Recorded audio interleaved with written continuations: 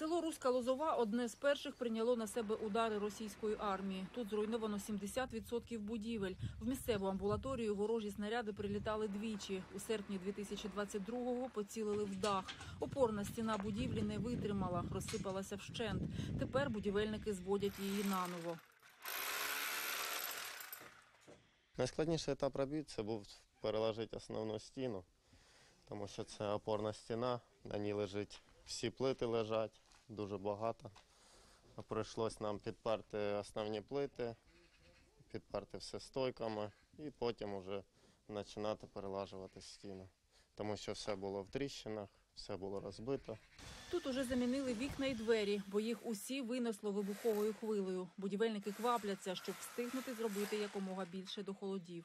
Зараз виганемо основну стіну, виконуємо покривальні роботи, електротехнічні роботи, водопостачання теж, тому що за зиму все розмерзлося. І відбудовуємо всі внутрішні приміщення, які постраждали. До війни тут працювало два сімейних лікарі. Нині справляється один. Від травня Світлана Козак веде прийом у відремонтованій частині приміщення.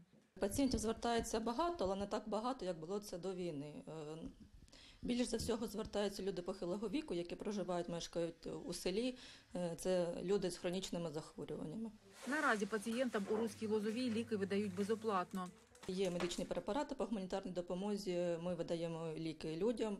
Це е, більш всього це люди по хронічними захворюваннями, тому що і ліки у нас є.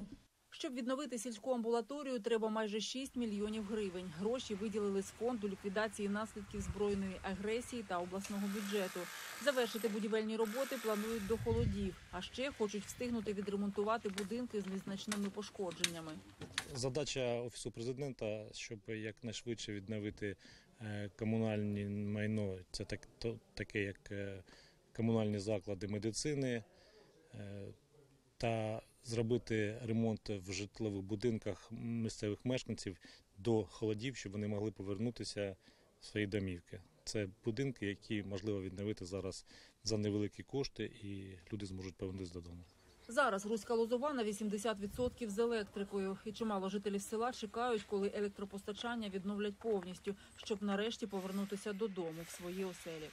Світлана Шикера, подробиці телеканал Інтер, марафон Єдині новини.